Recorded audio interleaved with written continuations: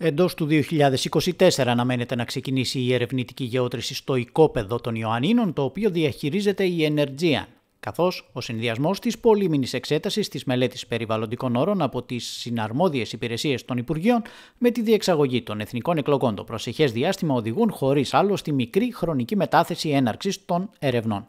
Όπως είχε προειδεάσει σε δηλώσεις του από τον Δήμο Ζήτσας και την έδρα του, την Ελεούσα λίγο πριν τα Χριστούγεννα, ο υπεύθυνος επικοινωνίας της Energean Σωτήρης Χιωτάκης η εταιρεία επρόκειτο τότε να καταθέσει στο Υπουργείο Περιβάλλοντος τη μελέτη για τους περιβαλλοντικούς όρους όπως και έγινε.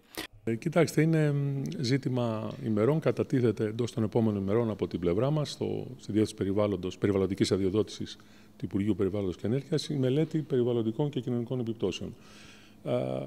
Εφόσον κρυθεί ο φάκελος πλήρης, στη συνέχεια θα τεθεί σε διαβούλευση τόσο σε κεντρικό και σε περιφερειακό επίπεδο. Έχουμε χρόνο ακόμα. Ε, θα σας κρατήσουμε ενήμερου.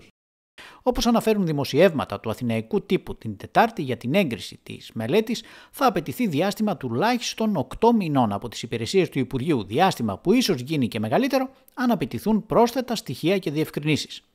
Ενδέχεται μάλιστα όπως αναφέρουν τα δημοσιεύματα να απαιτηθεί και ένα επιπλέον διάστημα μεταξύ 4 έως 6 μηνών για την προετοιμασία της εταιρείας, εφόσον εγκριθούν οι περιβαλλοντικοί όροι για την αναζήτηση του κατάλληλου γεωτρύπανου.